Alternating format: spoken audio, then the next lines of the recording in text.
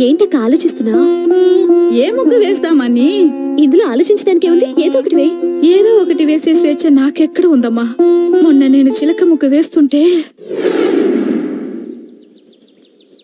ఏంటి ఈ చిలక? అవునండి. ఎలా ఉందండి? చాలా బాగుంది. బ్రహ్మాండంగా ఉంది. ఎవడేమన్నాడు ఈ ముగ్గు నిన్ను?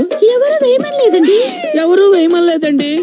ఎవరు వేయమనకుండా నేను ఒక్కదాని వేసే ఇండిపెండెంట్ డెసిషన్స్ తీసుకుంటున్నావు అన్నమాట. ఏంటి? మాట్లాడమే సతీ సావిత్రి కట్టింగ్ లేవుక చిలక ముగ్గేసి చిలకలాగా ఎవరితో ఎగిరిపోదాం అనుకున్నావా.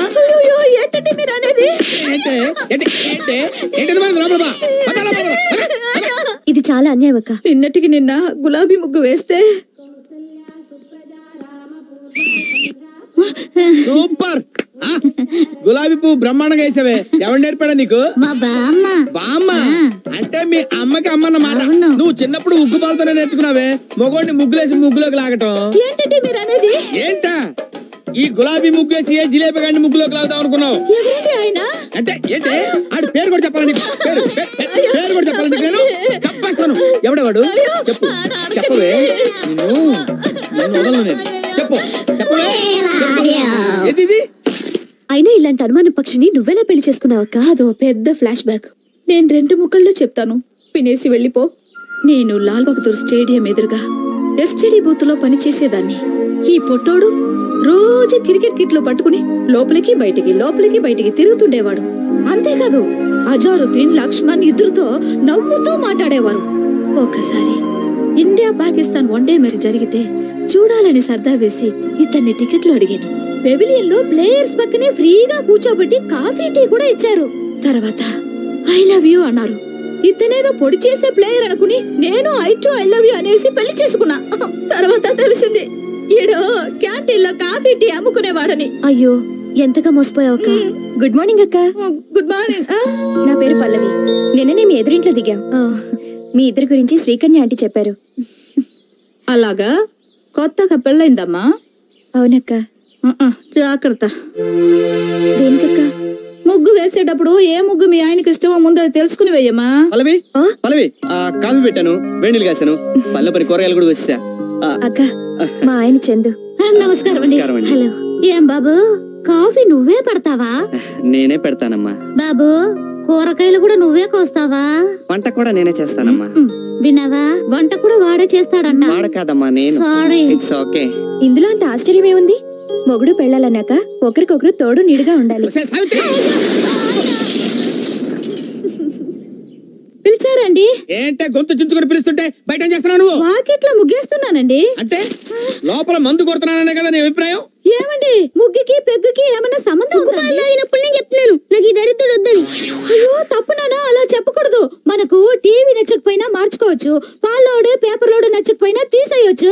కానీ నచ్చినా నచ్చకపోయినా డాడీని మాత్రం మార్చుకోలేమమ్మా. అంటే అంటే ఏంటి నీ ఉద్దేశం? ఇండైరెక్ట్గా నేను కూడా నీకు నచ్చలేదని చెప్తున్నట్టుగా? అయ్యయ్యో లేదండి. అంటే నేరుగానే చెప్తున్నావు అనమాట నీకు ఈ మధ్య నోరు పెగులుతుంది. మొగుడంటే లెక్కలేంతనం ఏర్పడింది. మొగుడు మొగుడంటే ఎలా ఉండాలో ఆ ఎదురింటి కుర్రాడిని చూసి కొంచెం నేర్చుకోండి. ఏంటి? ఆ ఎదురింటి కుర్రాన్ని చూసి మొగుడు ఎలా ఉండాలో నేను నేర్చుకోవాలా? ఎంత మాట అన్నావే? ఇంకెందుకు నాకు ఈ బతుకు? ఎక్కడికండి? ఇంత మాట అన్నాక ఏ మొగుడైనా ఎక్కడికి వెళ్తాడే? బార్కి. ఛీ మీరు మారండి. ఎందుకు మారాలే? ఎందుకు మారాలి? నేనేమైనా మిడ్ నైట్ మసాలా చూసి నిన్ను సిమ్రాన్ లాగా చీర కట్టమన్నానా? ముంతాజ్ లాగా మిడ్డీలు వేయమన్నానా? కరిష్మా లాగా చరిష్మా లేకపోయినా సరే ఆర్తి అగర్వాల్ లాగా హారేసుకోమని చెప్పాను? అసలు ఏ మగాడికైనా పెళ్ళాం కన్నా ప్రతి ఆడది అందంగా కనిపిస్తుంటే తాళి కట్టిన పాపానికి మేం మిమ్మల్ని భరిస్తుంటే మీరేంటే? వాడెవన్నో చూసి హృతిక్ రోషన్ లాగా బాడీ పెంచండి. రజనీకాంత్ లాగా బీడీ కాల్చండి అని ఎందుకే మా మూడ్ ఆఫ్ చేసి మమ్మల్ని హాఫ్ తాగేలాగా చేస్తారు? బారుకి వెళ్ళడానికి భారీ కన్నా భారీ రీజన్ ఏమన్నా కావాలా? అది- అక్కర్లేదు. వెళ్తానా? కర్మ. మనం రొటీన్గా మిడ్ నైట్ కాకుండా పట్ట పగలే ఎందుకు మందు కొడుతున్నామో తెలుసా? మన ఎదురింటి ఎదవ కారణంగా మన పెళ్ళాల చేతుల్లో మనం అవమానం పొందాం కాబట్టి. మామూలు అవమానం కాదు. యుద్ధంలో పారిపోయిన సద్దాం హుస్సేన్ కన్నా ఐశ్వర్యరాయ్ చేతుల్లో చీకొట్టించుకున్న సల్మాన్ కన్నా భయంకరమైన అవమానం. ఇప్పుడు మనం ఏం చేద్దాం? ముందు మందు కొడదాం తర్వాత వాడిని కొడదాం. వాడు కొట్టించుకోకపోతే వాడిని కిడ్నాప్ చేసి మరీ కొడదాం. కిడ్నాప్? ఆ. నాకు చేత కదా అయ్యో. ఏది చేత కాదు. ఒకసారి చేస్తే అదే అలవాటు అవుతుంది అంతేనట ఆ.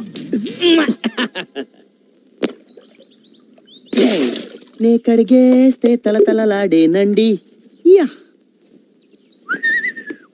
నే తుడిచేస్తే మిలమిల మెరిసేనండి. యా. నే విసిలేస్తే ఆంధ్ర సోడా బుడ్డి.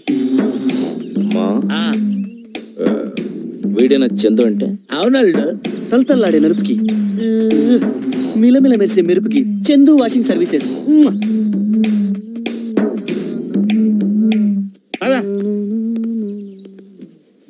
ఏం చేస్తున్నాడు రా స్కూటీ తుడుచుకుంటున్నాడు.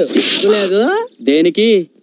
స్కూటీలు కడిగి పెళ్ళాం నైటీలు తిగి కాళ్ళు పిసికి కుక్కలాగా తోకాడించడానికి.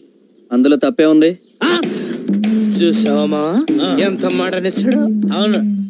ఇలాంటి వాడు ఒక్కడు ఈ రాష్ట్రంలో ఉంటే ఆంధ్రప్రదేశ్లో ఉన్న ఆడాళ్ళందరూ మొగుళ్ళని కబడ్డీ ఆడారు. కరెక్ట్గా చెప్పేవాళ్ళు ఆ సిచ్యువేషన్ రాకుండా ఉండాలనేగా ఆ. మనం వీడిని హైజాక్ చేస్తున్నాం. కరెక్ట్. హలో. ఫ్లైట్లని హైజాక్ చేస్తారు. మనుషుల్ని కిడ్నాప్ చేస్తారు.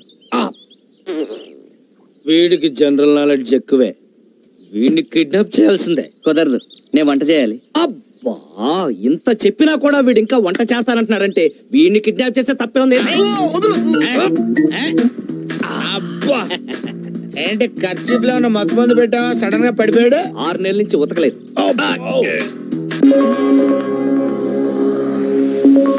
నేను ఎక్కడున్నాను నన్ను కిడ్నాప్ చేసిన వాళ్ళు లేరి? ఆ, మీరెవరు మహానుభావా? పిచ్చివాడు. నేను శ్రీకృష్ణుడు నేను అర్జునుణ్ణి. ఏ? నాతో మీకు పనేంటి? ఎందుకు తీసుకొచ్చారు? నీకు పరిపూర్ణమైన సంసార జ్ఞానాన్ని బోధించడానికి. సరిగ్గా విను. నేను విన్నాం. ఈడికి ఇలా చెప్తే వినడలుడు. ఆగు అర్జున. ఆ, రీసెంట్గా మ్యారేజ్ అయింది. తగలరాని చోట తగిలితే ప్రాబ్లం. అయితే ఓకే. చూడు మూర్ఖ. భార్య అంటే ఎవరు? బంతి. భర్త అంటే ఎవరు? బ్యాట్ బ్యాట్ ఎప్పుడు బంతిని కొడుతుంది. అలాగే భర్త ఎప్పుడు భార్యను కొట్టాలి? ఇది చాలా అన్యాయం. అన్యాయం అంటే సరిపోద్దా? మేక మటన్ అవుద్దా? కోడి చికెన్ అవుద్దా? ఆహా అర్జున నీ లాజిక్ సూపర్. అందుకే అనుభవం మీద చెబుతున్నాం విను. పెళ్ళాన్ని రీజన్ ఉన్నా లేకపోయినా రోజుకు కనీసం మూడు సార్లైనా ఇరగొట్టాలి. మన మాట వినే వరకు కొడుతూనే ఉండాలి. మనమే పెళ్ళాల మాట వింటే ఫ్లూట్ ఉచ్చుకుని డొక్కలో పొడుస్తాను మ్మ్. చూడు